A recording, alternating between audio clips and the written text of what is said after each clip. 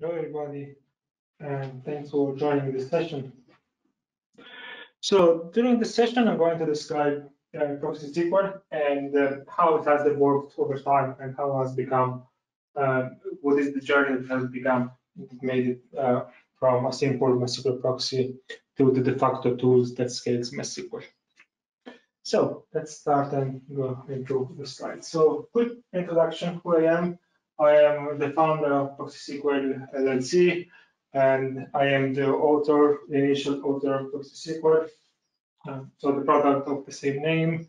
And my background has been mostly as a MySQL DBA for uh, uh, roughly two decades now, so quite a long time. Now, what we do at ProxySQL, so we take care of ProxySQL development itself, and we also provide the support service, including training, but also uh, we provide support for Proxy SQL, MySQL, and, and DevOps. And we also provide consulting service. Um, a quick um, a quick note: we have uh, upcoming training, uh, probably scheduled by the end of this month. So if you're interested in Proxy SQL training, please come and register. Uh, just register on our website. Okay, now let's start a quick discussion. This, consider this as an introduction to the topic of this session. It is how uh, software stacks work and how they fit together when there is a when there is a database system involved. So there are several key attributes that are relevant. Specifically, uh, the key, those key attributes are performance, efficiency, usability, visibility, availability, and manageability and we're going to dive into each of them. The very first few are mostly an introduction to what is coming next. So specifically, um, performance. When it comes to performance, we have a lot of vendors in the database ecosystem, no matter if it's just MySQL or others like Postgres um, and other storage engines, because it is applied to everybody. Uh, so there is a competition on improving performance. So, you know, there are a lot of benchmarks that be executed between those party and independent party as well, determining which one is best. And there is always a race to who is able to perform better, who provide better performance. So new storage engine will be created quite regularly, and those storage engine implement new algorithm any sort of algorithm. And they always like to add new features that are somehow, in a way or another, related to performance. So they be able to provide more performance. Uh, but you know, uh, you can have a lot of performance from a system, but the system still cannot be efficient because it might be costly to provide those sort of performance. Uh, let's make an example. If another system is able to perform greatly only thanks memory, well, then you still need a lot of memory to be able to uh, be able to run this system. So it might not necessarily be very efficient, or it needs just a lot of CPU and so on. So it is very important that those systems are able to uh, not only be able to perform very well, but they need to be efficient, so have a good use of the hardware is available for them. And those systems also need to be as usable as possible. This means that we do not have just a limited set of features, that make them good for specific uh, scenarios, but they need to allow the users uh, to have extra features to be able to exploit such features. Um, and you know, for example, it could be uh, my example listed here is this system could be cloud friendly. That's a very trendy uh, set of features nowadays. Uh, the system should also be should be able to provide visibility, and uh, there are plenty of providers and vendors that provide uh, visibility for third parties. So you have you can have a little system or also application that export metrics, and those metrics can be processed by by certain vendor that are that is able to monitoring the system, provide trending, and also generate alerting for such uh, metrics. An example for it is PMM by Percona itself. Now, uh, when it comes to availability, and here I'm going to start deep diving into the MySQL ecosystem. We have a multiple cluster solution. Uh, we can start from MySQL async um, or semi-sync replication. That is the historical one. And then we can also have Galera, uh, is probably uh, the second oldest one. And then we have MySQL cluster, specifically NDB. And then we have Percona Pixie, that is uh, modified version of Galera. Then we have group replication, and then recently we also have AWS Aurora that is joined the party of cluster solution. Now, what differentiates those? Well, of course, each one of them has its own set of features, but we can categorize them into set into major groups. So, cluster solution that has built-in HA and cluster solution that do not have built-in HA.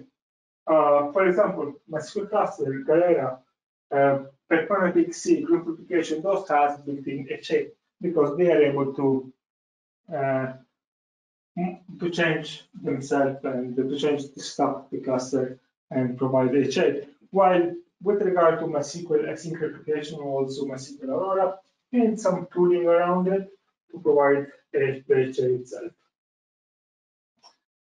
Now, uh, when it comes to managing the HA, it then is where we are speaking about manageability. And manageability, in the case of a cluster solution, need an external manager. Uh, we normally have, uh, for simplification, we have a HA, orchestrator, or replicator manager. And those are able to modify uh, the database infrastructure to provide HA itself. But there is still a question that stays unanswered. How to take advantages of those systems that are now highly available. And to answer this question, I'm going to describe uh, a layered architecture when it comes to stack, software stack with using MySQL. So generally speaking, we normally have two layers. We have an application layer and a database layer. And you know, so far we're speaking about this database layer should be highly available. Okay, so we just say that we have application and a highly available database system.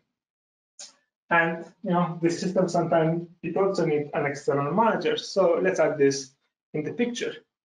And uh, now we have uh, say the application to communicate with the system. And the system can be quite flexible. I mean, you can have databases that being uh, the application topology is changing or new server being added, server being removed, and things like this. So the application needs some way of knowing all this. So this is normally done um, using service discovery. This is one of the approach. Um, is quite common nowadays. Uh, great. Uh, now, uh, still, there is a sort of problem in this sort of scenarios is that the fact that uh, those two layers, uh, they have boundaries, but some, somehow those boundaries are not very well defined. Like for example, the MySQL, the application need to know, in case of asynchronous application, need to know which one is the primary, which one is this, the, the replica. If you are using the Galera or Percona Pixie, you need to know, uh, you, you, might want to only use one server as the writer and not more than one. And so now the application needs to decide which one is this, uh, which one is the one that needs to be divided. So it needs some coordination. So the boundaries between those two layers are not often very well defined because, I mean, one layer needs to know more about the other one. And furthermore, you can have that every layer can actually have multiple, can be divided into multiple layers. And uh, now we have a, basically what we have now is two major layers that communicate to each other using an API. And in case of MySQL, this API itself is the MySQL protocol. So how do you communicate? Well, unless you have the application that is communicating directly with the database system, you normally utilize load balancer. Historically, a layer 4 load balancer was used, basically TCP load balancer. The application connects to it. The load balancer will take care of uh, forwarding the connection to, to the backend, to the right backend, and now you have a connection from the application all the way down to the database server, the, and the proxy in between is performing just load balancing. and a layer for load balancing. Could be a software load balancing or a hardware load balancer. Now, uh, what is the problem in this sort of architecture? Well, so the, the major problem in this sort of architecture is that this layer four uh, proxy has no idea what is forwarding. And on the other hand, what we have is that the application and the server uh, often treat each other as a black box. So the application has, often doesn't have no idea what is happening the database layer. It's just sending traffic to it. And on the other hand, the database layer is doing nothing more than trying to uh, perform as many requests as possible without ever knowing why those sort of requests are coming. And says, for example, there is an offending application that was deployed and there was a bug in the application. Now the application is in a loop where it's sending a lot of traffic. Or on the other hand, uh, a query normally was running fine becomes very slow nowadays, but the application, part of the application does not know that there is a query is affecting performance and other application are just issuing more requests and this makes the database system even slower and performance degrade. And in this sort of architecture, what we have is that basically there is no way of managing the traffic. So there is no concept of routing, there is no concept of the query if something is wrong, there is no concept of quality of service, like certain, certain type of traffic should have higher priority than other. Um, so if there is an offending query, just slow it down or block it completely. And also we don't have any sort of flow control. And those are all examples of what is missing in the architecture I was showing before.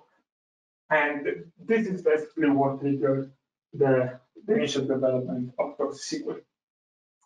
So uh, what were the main motivation of ProxySQL? Uh, the idea was to empower the DBAs. Uh, in fact, was made by DBAs, and by what Anderson was mentioning before, has been mostly as a DBA for DBA. So the development was driven by challenges that were known from database from a DBA perspective. Uh, so there was a concrete development. And to improve basically the manageability of uh, the database system, and uh, in a way to create a layer that was able to shield the database. Uh, a small note here, um, I have got some feedback that when I used the word empowered DBA was somehow uh, misinterpreted and uh, apparently somebody had the impression that what I meant is like there are two groups, there are developers from one end and database from the other, the DBA from the other, and the DBA is basically now has more power in uh, using ProxySQL. This was not the idea, and uh, I'm sorry that somehow uh, this message was be, has been interpreted. What I actually meant here in empowering the DBA is that normally uh, at the MySQL server, uh, the DBA has no power of controlling what sort of traffic is being executed by MySQL server. The database server just trying to execute as much traffic as possible. While uh, ProxySQL allow to have a tool that is able to determine what need to be executed and how. Like for example, if queries need to be rewritten or if query need to be artificially throttled.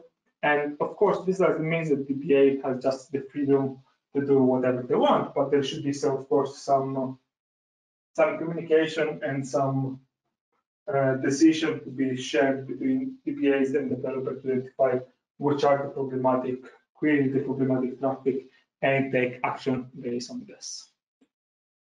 Okay, so here is the initial list of features that were um, implemented in ProxySQL. So of course, the very first one was to be able to have load balancing, so being at least to be at least be able to do what a layer 4 proxy is able to do. But then there was also some very important features that were important for me at the very beginning. That is the ability of rewriting queries on the fly.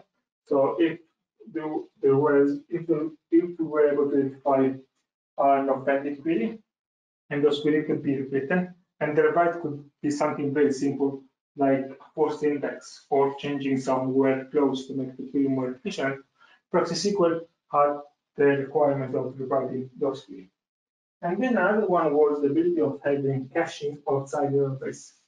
Um, so if the application was issuing the same queries over and over and this query was expensive, what we could do is to cache it in a middle layer, that is Proxy SQL, and basically the application is reading this result from this middle layer without ever knowing that the request never hit the database. So from an application point of view, it just executes the query and the results that was returned. Now, the next important feature to implement was connection pooling and multiplexing. And those two features are somehow correlated. Specifically, uh, no matter how many connections the application open to the proxy, Proxy SQL will have its own set of connections to the database server. And those connections are, um, they could be of a completely different number compared to the number of uh, connection from the application to the proxy. So if you are on a layer four, if you are a layer four proxy, there is a mapping of one to one. So one client connection is equal to one backend connection. While with Proxy SQL, this is absolutely not the case. And you can have hundreds of or thousands of client connections to be then narrowed down into very few uh, connections to the server. And it's not very unusual to have a 100 to 1 ratio. This means that most of applications, when using Proxy SQL, normally tend to drop the number of backend connections up to 99%. So, for example, you can have 10,000 connection to the proxy, and then the proxy will have only 100 connection to the server. And this is especially thanks to the multiplexing feature. The multiplexing feature is the ability of sharing one single backend connection among multiple clients. So SQL is able to identify when a query, when a backend connection can be shared by multiple clients at the same time and when not. And then, of course, uh, flexibility this was the initial feature to implement later on more complex routing algorithm. To be able to do this, it was required that Proxy SQL was able to understand the MySQL protocol. So not just forwarding packets from one end to another one, so from client to the server and from the server to the client, but actually to understand the wire protocol and to identify the boundaries of queries, results, and okay packet, and so on. And the way of implementing it then was that proxy has to become a reverse proxy. It is again quite different than a forward proxy. It is the typical case of a layer 4 proxy. Because it's a reverse proxy, what this actually means that for the client, proxy SQL is the backend. So the client executes the query on the proxy. Proxy SQL will then figure out what to do with it, often server writing and decide where to execute it then execute the query, whatever is come from the backend. Some transformation can be done as well, and then the results is sent back to the client. So uh, going back to the layer architecture we mentioned before, this basically has changed. It's changing from having a layer 4 load balancer to have proxy SQL that now is a layer 7 reverse proxy. Great. Now, uh, we have this architecture in which uh, the database system is highly available using one of the cluster solution. I'm going to speak about PXC in the second part of this webinar, uh, but because the database system is highly available, it is very important that Proxy SQL itself is highly available. So uh, to have maximum uptime, so it should not be restarted or it should not crash, of course. So to, to have this, it's, well, it is very important that proxy SQL, the proxy SQL should be avoided at all costs. And this also means that when we want to make some configuration change, we should absolutely avoid of proxy SQL. So we implemented this. We implemented the idea that all the configuration need to be done at runtime. And there is nothing extremely new with this one because there is a lot of services that have this approach to have uh, configuration that can be changed at runtime. But the way we implemented it in Proxy SQL is quite uh, interesting and, and unique. And we're going to discuss this in more details. Um, and um, specifically, what we're going to discuss is the admin interface. Yeah, the admin interface is um, something quite unique in proxy SQL that is basically an interface that uses the MySQL protocol, so anyone can connect to SQL using MySQL client. And in this interface, all the configuration is stored in tables and in database. This makes it extremely uh, interesting features because this means that the configuration itself can be created and it can also be edited, modified, and updated with running DML statement, update, insert, and delete. Not only this, but because data is the configuration itself is in tables, we can have some constraint on those tables, so we are able also to perform some input validation uh, in the configuration itself. So, you know, you cannot put a number, sorry, you cannot put a string where you're supposed to, to put a number and uh, similarly, or create status that do not exist, only two statuses are allowed, and similar. Also, we can have some sort of atomic commit. So basically, we can change we can perform a lot of changes in the configuration, either um, automated or manually if we want to test some new configuration. And once we have configured it, tested, it looks correct, we can load this configuration at runtime, and this would be an automatic uh, commit, so to be loaded uh, at runtime. And if for whatever reason we don't like this configuration, it is very easy to roll back. So it says, um, let's revert the configuration to the previous one. And again, all this is done at runtime without any, any restart. And then we introduced also um, multi-layer configuration. Uh, this idea was actually born by Cisco router. Um, uh, so basically, I'm going to show you here now in, into more details. So if you connect to the admin interface and you run show tables, as you can see, you can connect to the admin interface using a normal MySQL client. And uh, you can release like, like these show tables, and we have a list of all the tables that you can run for um, that you can have for the configuration. And um, the idea of having the configuration in um, in tables, this was actually uh, a very I, I believe it was a very good idea because with time passing, it was clear that the configuration was becoming always more and more complex. So having the ability of having configuration somehow structured in data, it was going to make it uh, less error prone and uh, we could also create some dependency between tables. now, next.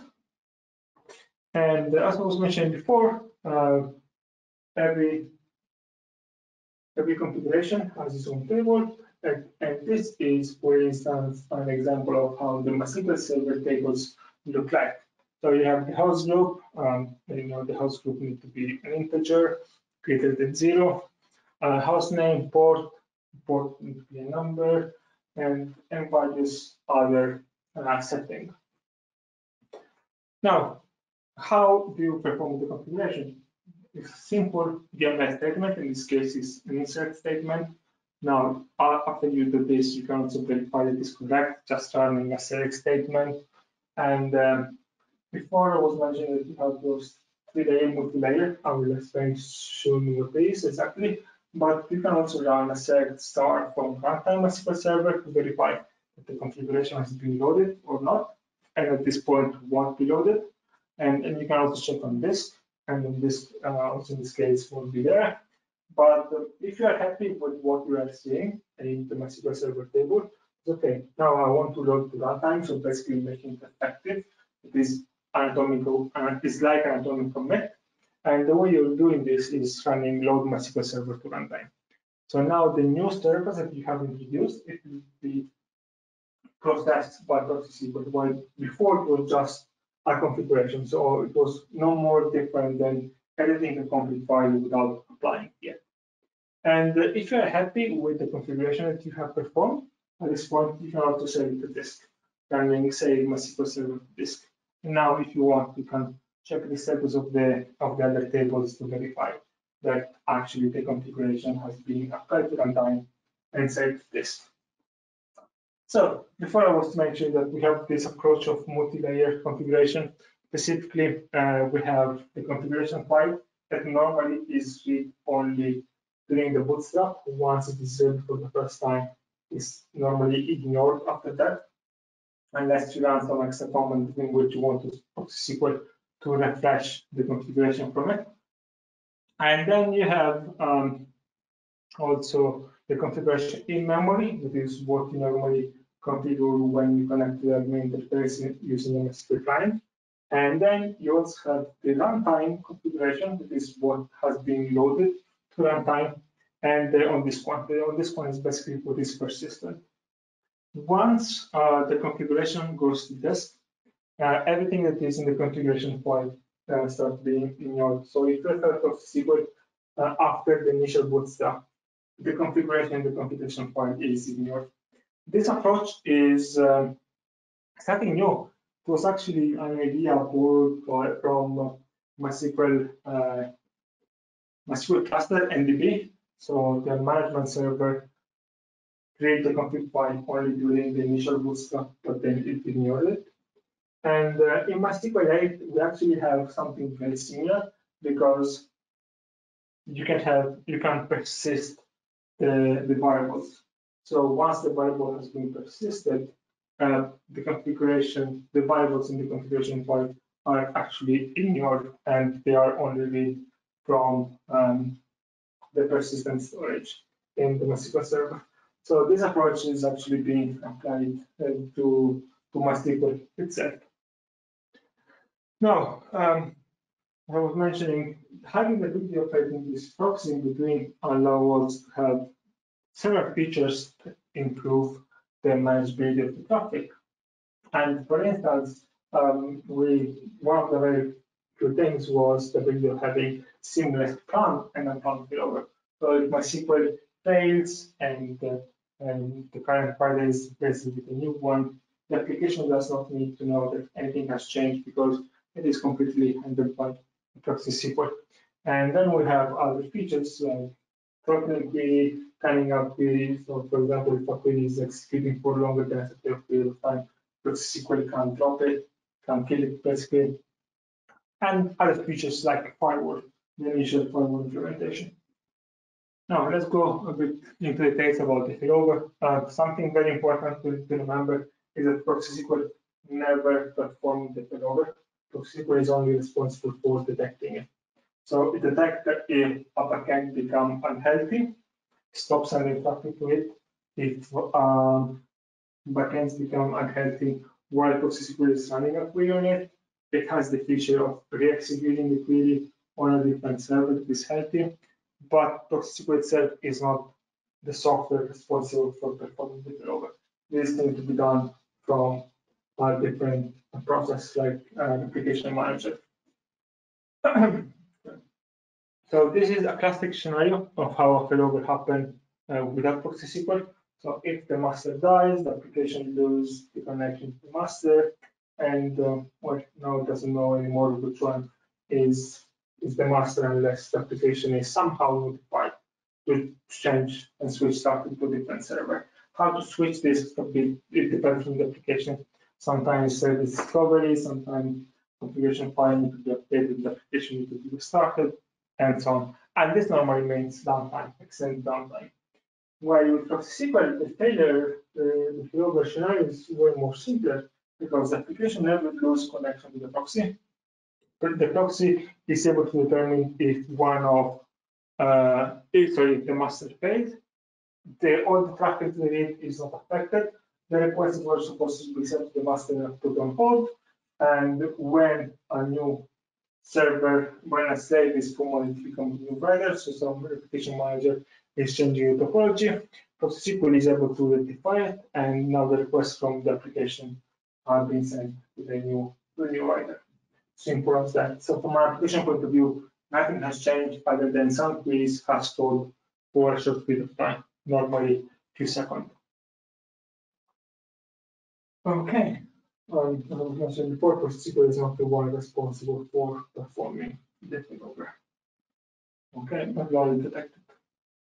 Now, um, the scenarios I described before, it was about uh, async replication. And uh, the reason why I described only this one is that because it's the simplest scenarios. Um, and but ProxySQL, of course, support way more complex cluster solution. And um, at the very beginning, it didn't support all of them, and not, none of them listed here. Um, but it was possible to extend the way ProxySQL handle uh, different cluster solutions having the scheduler. The scheduler was nothing more than, um, the ability of ProxySQL to execute script at regular interval, and the script could perform several actions. And the most common use for the scheduler was the those script where they were responsible for checking the status of the cluster and reconfiguring ProxySQL if this was required. Well, the scheduler is always there as a feature that can be used, but now ProxySQL support uh, various replication topologies, some various cluster solutions that are listed here. So Galera group replication, Connectivity, MySQL, NDB, and uh, Aurora. Now, as I was saying, now ProxySQL is able to handle so many clusters, but what about MySQL at scale? Well, several features were added with time passing, uh, mostly by customer request, to be able to have ProxySQL able to uh, really handle scenarios, complex scenarios with uh, um, with a lot of users, a lot of connections, and so on. specifically, ProxySQL is able to handle millions of MySQL users. And here I don't mean MySQL connection, but actually distinct users, like millions of username, distinct username. And uh, each proxy is able to handle hundreds of server, hundreds of thousands of connection. And this is very important because MySQL is not able to handle this. My performance in MySQL started degrading after 2000 connection, while ProxySQL is able to offload the number of connections from the database server and be able to handle hundreds of thousands of connections. And um, it's also able to perform routing with a multiple criteria like schema, and it's really able to route traffic to millions of schema based on some algorithm that does that does this basically.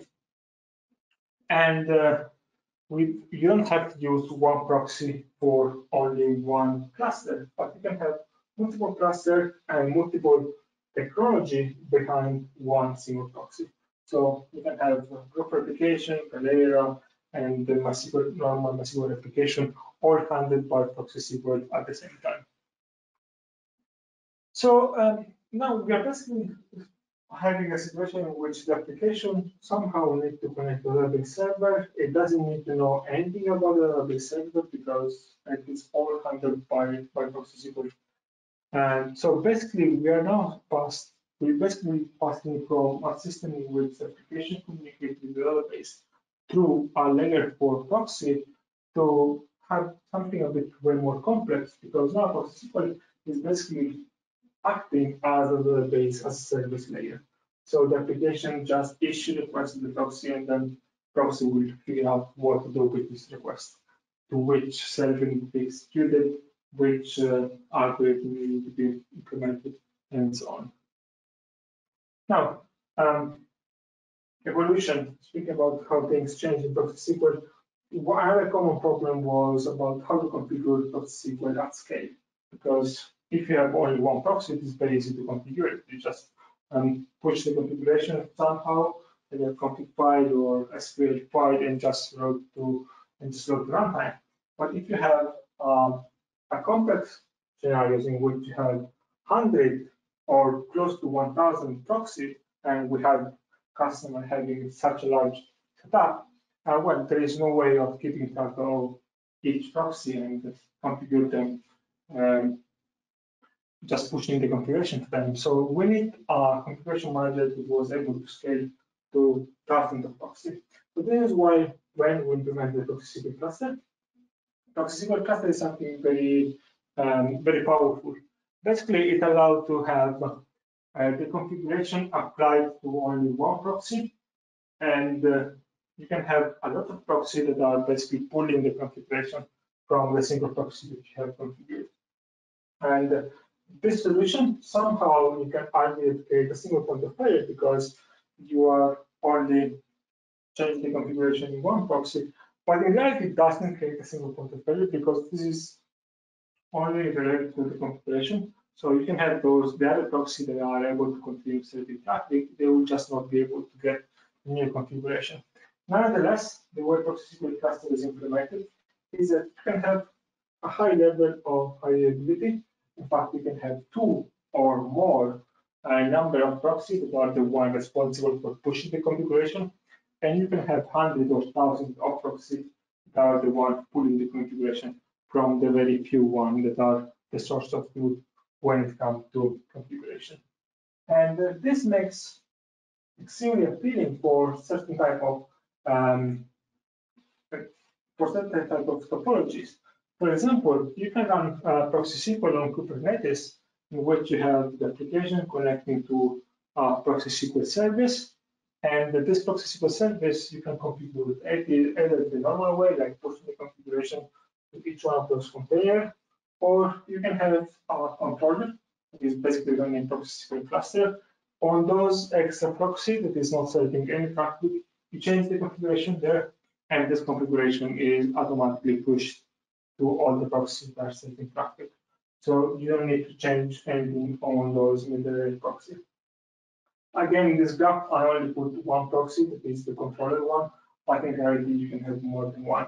And again, it's very important to note that if that single proxy goes down, uh, this is not in any way affecting uh, the traffic that is passing through the middle proxy. It's just affecting the new traffic. Uh, sorry, it's only affecting uh, new configuration because there is no way of pushing new configuration. But again, you can make this system highly available very easily. And other interesting things is that um, in, uh, in the previous slide, when I had this middle layer proxy, uh, if one of the proxy goes down, basically uh, the application need to pay back to some other proxy. While uh, something that we can implement in Kubernetes is something like having a multi-layer proxy, so cascading, in which the application run ProxySQL as a sidecar, and then the sidecar will have as its own backend cluster proxy. And because ProxySQL itself is able to handle failure scenarios, if one of those proxy in the middle layer goes down, the proxy in the application layer is able to just forward traffic to another proxy without the application ever noticing that a failure happened. Now, um, other features have been introduced in Proxy to make it as highly available as possible is the ability of running multiple instances on the same port. This feature is extremely important because it allows something very interesting, like the ability of performing an online version of it. So you can run two different versions of Proxy on the same port, and you can gradually drain connection from one proxy to the other one. So you can change version with absolutely no downtime. And there is other features like the ability of stopping the listener, starting it, and resuming, and, and so on. Now, uh, ProxySQL is an open source project, uh, so this means it has become uh, by nature very popular over time, and more often not, there are always new um, feature requests from the community.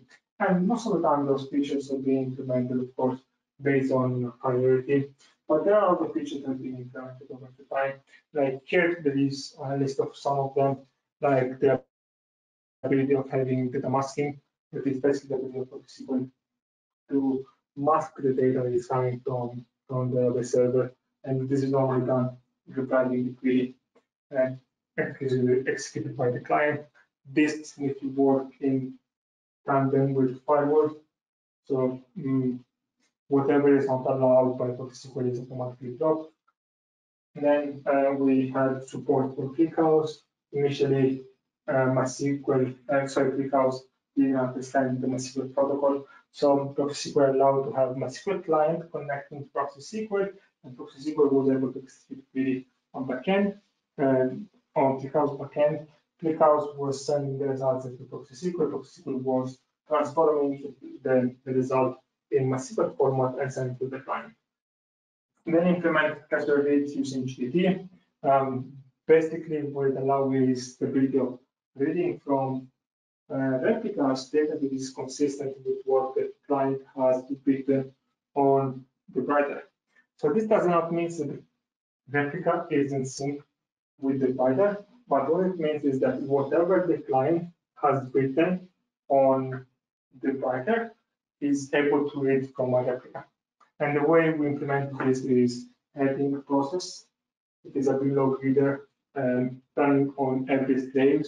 This is reading the binlog, stripping all the data with the exception of the GTID and sending the GTID to ProxySQL. So in real time, ProxySQL we know which GTID has been executed to replica. Then we implemented um, features related to encryption. So specifically, we implemented um, backend encryption very early. Then on to zero, we also introduced SSL encryption for the communication from the client back to the proxy. But there are other features that been introduced uh, related to encryption. Like for example, passwords and ProxySQL are hashed. Clusters communication is encrypted as well in ProxySQL 2.1. And uh, we are also uh, planning to implement some features to have uh, encryption at rest for the ProxySQL database 5. And what else? We, we also implemented LDAP authentication, and uh, we have an, an advanced firewall. Uh, basically, the initial firewall was that you have to specify what you don't want ProxySQL to run or to allow on a specific query. While now we have this ability of having uh, learning uh, what are legit traffic, and uh, basically you can run ProxySQL in this mode. It will learn what is the legit traffic, and then you can switch it into protection mode. And from that moment on, ProxySQL will reject any sort of traffic that hasn't seen before. Um, so, you know, if you have some sort of SQL injection, ProxySQL will also be able to reject this. And uh, we also introduce our REST API. Uh, this is very similar to the scheduler, but works on the on HTTP. Uh, so basically what we have is that the client can reach ProxySQL on a specific endpoint, and ProxySQL is able to execute um, some some script or some executable and return the result the client if the client hit a specific endpoint. Now, when it comes to visibility, as I was saying, as I was mentioning before, ProxySQL sits in between the application and database. Well, this means that it sees all the traffic passing through it. Every time the, the application is communicating with the database, the communication happens to the proxy. But this is actually the best place to collect any sort of information about the traffic. So um, we can check, not only we know what is the status of the backend uh, running monitoring, but we also know if the backend is healthy, like the backend is sending results if the backend is not responding, uh, how many rows have been sent from the backend, how many bytes have been sent in terms of traffic and so on, how many uh, rows has been modified from the backend and so on. And ProxySQL is able to collect all those metrics. And those metrics are also exported. And guess what? Those metrics are exported again in tables uh, because SQL has this uh, the admin interface in which everything is tables that so you can query, you can run order by, join, and so on. So you can perform, you, you can create your own um, export of those statistics. And uh, uh, using the same algorithm, uh, string everything in a tabular format, we are also able to export internal metrics. So quick, quick overview of the tables that are available. Uh, again, in the new interface, you run show tables from stats. You see plenty of tables that have displays internal uh, information about ProxySQL. Then we have another database called Monitor. You can run short tables for monitoring. those are tables related to, to the monitoring module.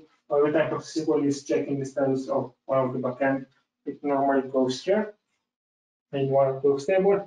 And uh, is also able to store uh, historical data. So not only export how things look at this point in time, but also have persistent historical data.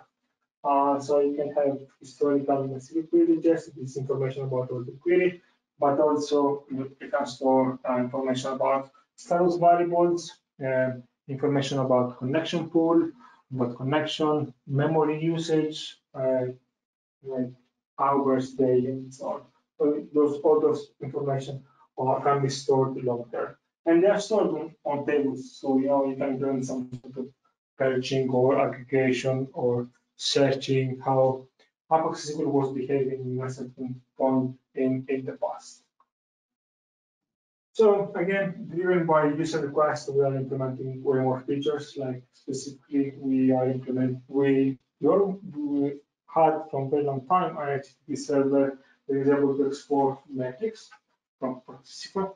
Uh, but we have a new version under under development. We're going to release very soon. And this new web UI does not just export way more metrics than the original one, but it also allows to configure ProxySQL using a web interface. And we believe that this will be a big, big, um, will absolutely improve the usability of ProxySQL because uh, it will make it way more easy to, configure. Now, uh, about web UI and also metrics. Uh, we also have our Prometheus exporter. Um, so basically using the same web uh, web server that is between built in inside ProxySQL, we will be able to export all internal metrics and um, uh, information about backend using uh, the web this built-in web server. So the Prometheus exporter will be uh, will be built in inside ProxySQL, so there will be no need for an external exporter, like the one that, um, Percona use for, PMM. This will make things easier because now PMM can just use the built-in uh, exporter in ProxySQL instead of relying on an external exporter. And um, that's uh, that's all I have for now. And um, so basically, um, what I want to iterate is the fact that most of the development of ProxySQL is driven by uh, by the community. So by people that are using ProxySQL, identify which are the need in their environment or common need in the MySQL ecosystem, and they either uh, and they normally propose new features to be added, and um, and that's it. Thank you very much for joining this session. I see there were a few few questions. I can uh, I can quickly uh, go through them in the next uh, few minutes that I have available and uh, quickly answer them. So uh, will this be webinar recorded and sent to us? Uh, yes. Um, how to make ProxySQL HA itself? So this is a very interesting question and um, how to make ProxySQL HA, it really depends from uh, from various um, from from how you want to deploy it. Generally speaking, um, you can have ProxySQL uh, to have HA based on a variety of solution. For instance, you can have uh, the most common one is to have ProxySQL uh, tightly integrated with the application. So the application and uh, ProxySQL they work as a single unit in uh, Kubernetes world, they have like a sidecar. Will work as a sidecar. So if ProxySQL old application fail, they fail as a unit. And uh, this is one of the way, but you can have multiple one, like having ProxySQL behind a load balancer. That doesn't need to be um, software load balancer, but could be like uh, a virtual IP. And so you can have multiple proxy running behind the same IP and um, you, you, can have also have multiple um, multiple way of doing it. Uh, for example, you can run multiple proxy listening on the same port because this is allowed by ProxySQL. I was mentioning this before. Um, so does not just make it highly available, but you can ever run two different versions at the same time.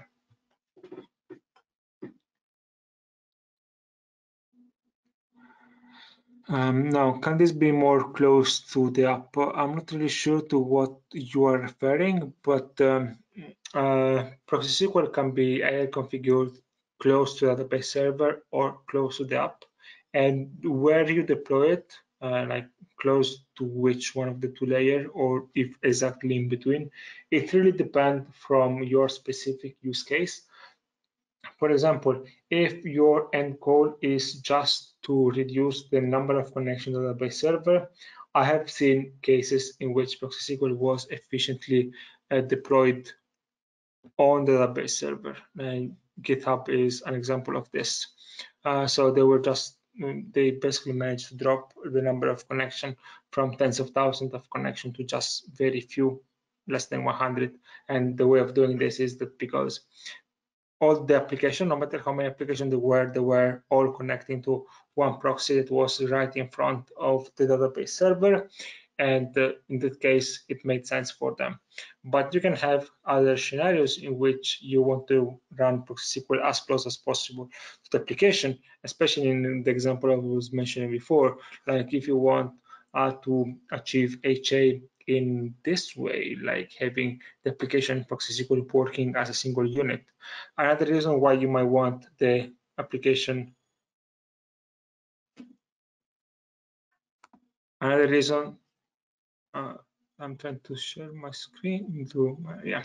So another reason why you might want to have your um, ProxySQL installed uh, running as close as possible to the application is, for example, if you are running on an environment in which you have your um, all your applications spread across multiple DC or uh, in the same AWS region but across multiple AZ, you want in this case the application as close as possible to the application server to avoid any unnecessarily cross-AZ communication or in case in which uh, yeah, your application is getting a lot of uh, data from ProxySQL cache. Another very good idea is to have ProxySQL as close as possible to the application. Uh, speaking about cache, um, having the ProxySQL as close as possible to the application introduce an interesting drawback is that, that every proxy will have its own cache. So in this case, if you want to have cache to be shared by multiple application, what you need to do is try to move ProxySQL away from the application. So every application or the application will share a common cache. So where to deploy it really depends from case to case. Um, now the next question was, does ProxySQL package includes ProxySQL admin tool from Percona? Uh, no, uh, our own packages do not include ProxySQL admin tool from Percona. Uh, I'm not sure which is the um, uh, the long-term plan that Percona has with regard to ProxySQL admin, but currently uh, we do not include we do not include it. Uh, can you give more insights on support for multiple cluster? Um, like multiple cluster of the same technology, like having multiple Galera cluster. So the way you configure it is to have um, uh, every cluster is in ProxySQL is nothing more than is represented as nothing more than a row in a configuration table.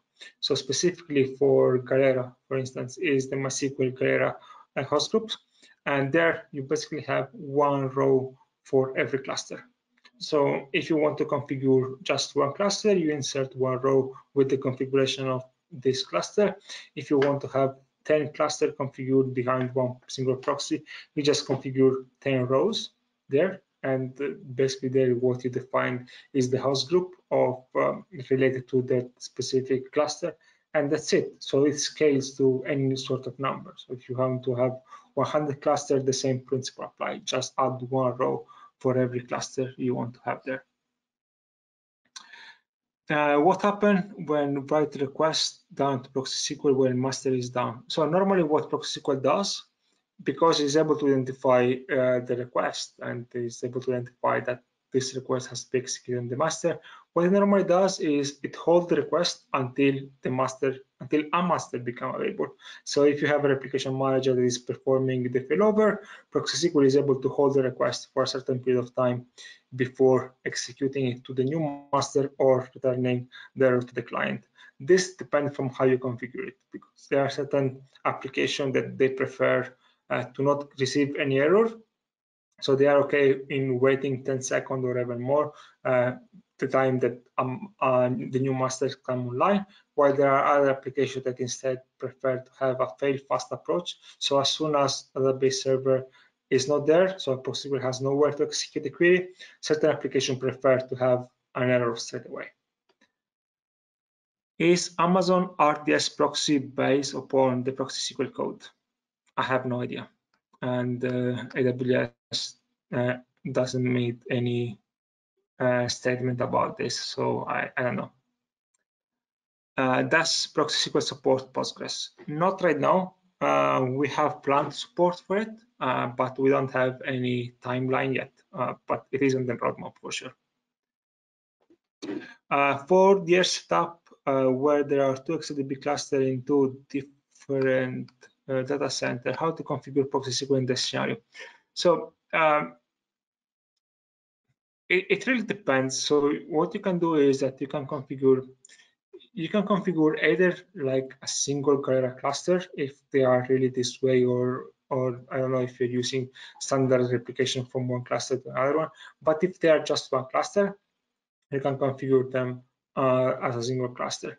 And um, if you're configuring them as single cluster, ProxySQL is still able to determine which one is the one in the same um, in the same AZ because it also check the latency uh, with every database server. So if detected if a database server is uh, far, so it means it is a different AZ, it doesn't send traffic to it unless the, all the nodes in the same cluster are are down.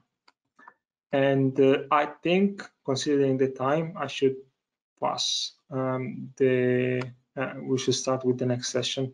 Uh, but I'm very happy to continue answering those questions at the end of uh, at the end of the session.